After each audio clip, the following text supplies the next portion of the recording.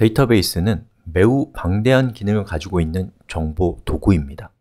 데이터베이스의 기능이 방대한 것은 데이터와 관련해서 일어날 수 있는 일들이 참으로 많기 때문입니다.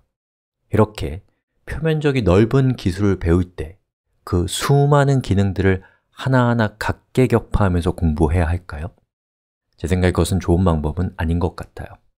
아무리 복잡한 기술도 그 중심에 자리 잡고 있는 핵심은 복잡하지 않습니다. 어렵지도 않습니다. 여러분이 어떤 데이터베이스를 만나건 제일 먼저 해야 할 것은 이 바닥에서 데이터베이스의 데이터를 어떻게 입력하고 어떻게 출력하는가를 따져보는 것입니다.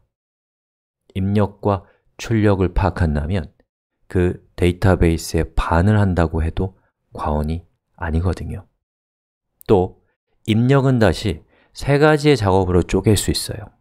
데이터의 생성, 수정, 삭제로 말이죠. 즉, 데이터를 생성하고 읽고 수정하고 삭제하는 네 가지 작업이 데이터와 관련해서 우리에게 필요한 것의 거의 모든 것이라고 해도 과언이 아닙니다. 이 네 가지 작업을 C, R, U, D라고 불러요 그외 복잡한 기능들은 바로 이 CRUD를 보자 하는 부가적인 기능들에 불과합니다. 이 사실을 기억하신다면 아마도 여러분은 어떤 데이터베이스를 만나도 겁날 것이 없습니다. 뭐가 중요하다고요? CRUD